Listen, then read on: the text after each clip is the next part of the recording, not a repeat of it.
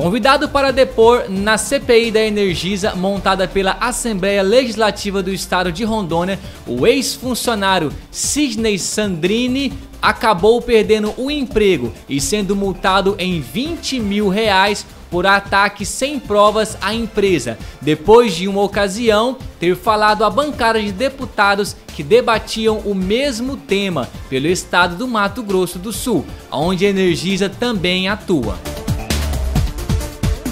Dois caminhões são incendiados durante a madrugada em Ariquemes. No primeiro caso, dois suspeitos foram vistos por moradores ateando fogo no veículo e fugindo em bicicletas em seguida.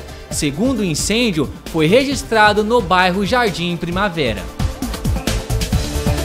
A Prefeitura Municipal de Castanheiras Rondônia, através da Secretaria Municipal da Saúde, realizou na quarta-feira, dia 9, a entrega de kits com três camisetas agentes comunitários de saúde que atuam na região da Estratégia de Saúde da Família no município.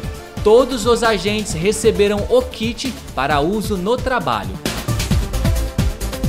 Por volta das 17 horas da tarde de quarta-feira, três caminhões se envolvem em um acidente de trânsito e causam um engavetamento na BR-364 a cerca de 4 quilômetros para frente do posto da Polícia Rodoviária Federal, sentido Porto Velho. Segundo informações, um caminhão que estaria seguindo sentido ao município de Jaru teria reduzido a velocidade devido a uma grande fila que seguia à sua frente, quando acabou sendo colidido em sua traseira por um caminhão boiadeiro que não teve tempo de frear. Este que também acabou sendo atingido por uma carreta que seguia logo atrás.